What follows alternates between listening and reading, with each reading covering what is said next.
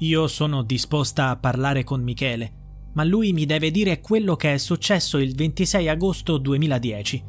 Mi deve raccontare quello che ha provato in quel momento, quello che ha vissuto.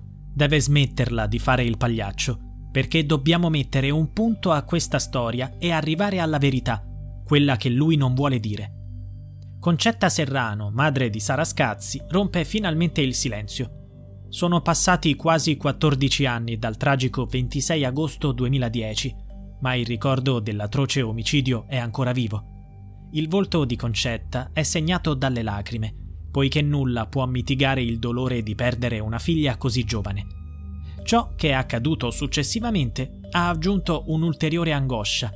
Anni di menzogne, depistaggi, false accuse e cambi di versione hanno travolto la famiglia trasformando il tranquillo paese di Avetrana in un set televisivo e luogo di curiosità morbosa. Migliaia di visitatori da tutta Italia hanno invaso l'intimità di una famiglia già devastata da una tragedia indicibile.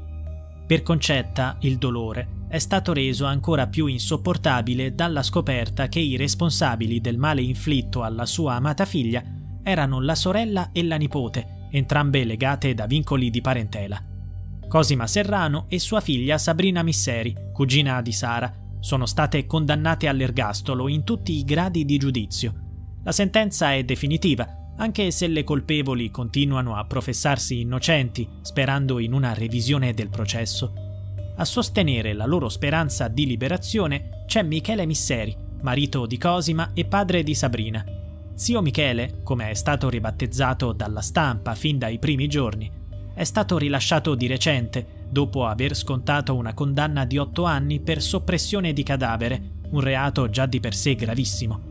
Secondo la sentenza dei giudici, sua moglie e sua figlia hanno strangolato Sara, mentre lui avrebbe occultato il corpo della nipote. Da tempo l'uomo sostiene un'altra versione dei fatti, affermando di essere il solo responsabile di quanto accaduto, autoaccusandosi anche dell'omicidio e scagionando Cosima e Sabrina. Questa sua decisione suscita interrogativi perché continuare a sostenere una verità diversa da quella stabilita dai giudici. Concetta ha espresso la volontà di confrontarsi con lui, desiderosa di comprendere e penetrare nella mente del cognato. Vorrebbe gridargli in faccia di smetterla di mentire e permettere alla povera Sara di riposare in pace. È importante ricordare che la quindicenne scomparve il 26 agosto e venne ritrovata dopo 42 giorni, grazie alle indicazioni fornite da Misseri, che indicò agli inquirenti il luogo in cui aveva nascosto la nipote, un pozzo. Inizialmente sostenne di essere stato il solo a compiere tale gesto, ma successivamente ammise di aver solamente occultato il cadavere, accusando poi la moglie e la figlia del delitto. Dopo il loro arresto, cambiò nuovamente versione, autoaccusandosi anche dell'omicidio nel tentativo di discolpare le due donne. Tornando a Concetta, durante un'intervista al programma Quarto Grado, la donna ha rievocato il suo calvario, mettendo in luce le bugie di Michele, che ancora oggi, da uomo libero, continua a professarsi colpevole di un crimine che non ha commesso. Quello che dice e che fa mi ferisce molto mia figlia ha ricevuto una giustizia processuale, ma per come si comporta Michele è come se avesse ricevuto una giustizia a metà. Deve smetterla di fare il pagliaccio. Ormai sa che nessuno gli crede. Sa che la magistratura non gli crede. Sanno che è innocente, ma lui va a ruota libera, proclamandosi colpevole giusto per far contente sua moglie e sua figlia. Dovessero scomparire le donne di casa sua, lui allora direbbe la verità io sono disposta a parlare con Michele, ma lui mi deve dire quello che è successo il 26 agosto. Concetta riflette sul momento in cui il cognato fu intercettato in carcere, poco dopo la sua prima confessione. Appena arrestato, non era consapevole di essere sotto ascolto. Ho visto dei video che parlano chiaro della sua innocenza. Durante un colloquio disse alla nipote: Ho coperto la Sabrina. Se lei non c'entrava niente, perché la tirò in ballo? Più avanti disse sempre alla nipote: Abbiamo fatto i furbacchioni. Quindi stava parlando di più persone e non di una persona sola, cioè lui. Chi sono questi furbacchioni? Poi disse: Avremmo dovuto chiamare i soccorsi. Perché non li hanno chiamati? Hanno fatto tutto di testa loro. Quando Michele è stato arrestato, tutti credevano che fosse l'unico colpevole. Mia sorella inveiva contro di lui, diceva non lo voglio più vedere, non lo voglio più ascoltare. Se lui muore non lo devono seppellire nemmeno ad Avetrana. Poi ho guardato un video di un incontro in carcere e ho visto moglie e figlia affettuose con lui. Non sembrava l'incontro con un assassino. Questa madre disperata è stata ulteriormente sconvolta dalla lucidità e dalla sfrontatezza dei protagonisti di questa vicenda. Subito dopo l'omicidio, Sabrina simulò una ricerca di Sara. Questi momenti drammatici sono impressi nella mente di Concetta. Venne a cercarla a casa mia. Uscì la badante e le disse che Sara non c'era, che era andata a casa loro.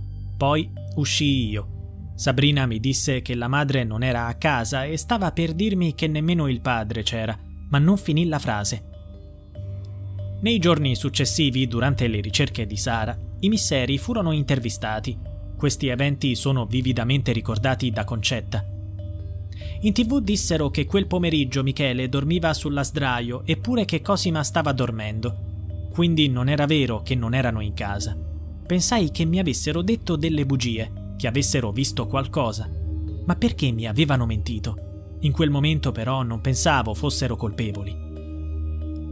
Fino ad ora Concetta ha trattenuto il suo dolore in silenzio, custodendolo tra le pareti di una casa ormai vuota, avvolta nel silenzio. Negli ultimi anni ha scelto di non rilasciare più interviste, preferendo vivere in silenzio con il suo strazio. È rimasta sola decidendo di restare ad Avetrana dove ogni singolo angolo le ricorda Sara. Il marito Giacomo si è trasferito a Milano e il loro rapporto si è ormai incrinato. Anche l'altro figlio, Claudio, lavora a Milano e vive con il padre. Concetta raramente esce in giro per Avetrana, conducendo una vita riservata, uscendo principalmente per recarsi al cimitero e pregare sulla tomba di sua figlia. Avetrana è un piccolo paese e la casa di Concetta dista solo poche centinaia di metri da quella tristemente famosa di Via Deledda, luogo dell'omicidio. Zio Michele è tornato a vivere lì, da solo naturalmente, mentre la moglie e Sabrina sono in carcere e l'altra figlia Valentina non risiede più lì.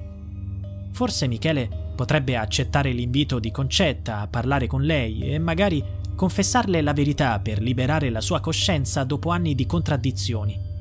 Se lo facesse, la comunità di Avetrana potrebbe perdonarlo e offrirgli aiuto. Lui desidera rinnovare la patente per guidare il trattore e tornare a lavorare nei campi, e questa potrebbe essere l'opportunità. Al momento nulla è cambiato nei suoi pensieri. Di recente ha detto: Dopo sette anni non è facile uscire fuori, specialmente con due innocenti in carcere e io che sono colpevole fuori. Mi hanno sempre detto che sono innocente. Sarebbe bello se lo fossi. Se io fossi innocente, Sara sarebbe ancora qui, in mezzo a noi a sorridere. È difficile, per colpa mia ho distrutto la famiglia. Sono emigrato in Germania con mia moglie. Abbiamo fatto la casa, comprato i terreni, abbiamo fatto tutto e io in due minuti ho bruciato tutto. Sara voleva essere adottata da noi. È da quando era piccolissima che stava da noi. E questo mi fa ancora più male perché ho cresciuto Sara e poi l'ho ammazzata.